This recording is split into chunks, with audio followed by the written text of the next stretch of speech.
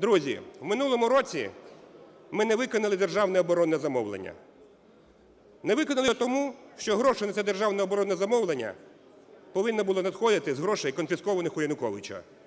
В цьому залі негідники і корупціонери, які більше всіх кричать про свій патріотизм, провалили цей закон.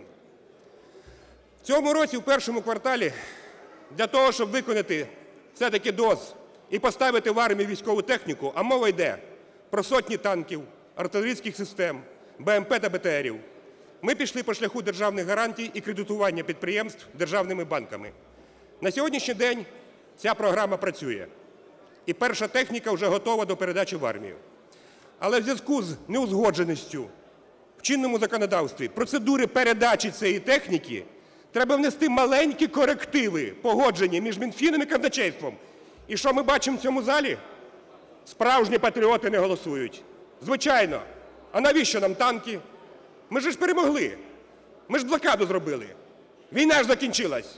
Вчора ніхто не загинув. Люди добрі, да невже ви думаєте, що якщо ми не будемо зброювати нашу армію, то Путін про нас забуде? Люди добрі, да не думайте про свої проплачені корупційні перемоги, а думайте про свою державу.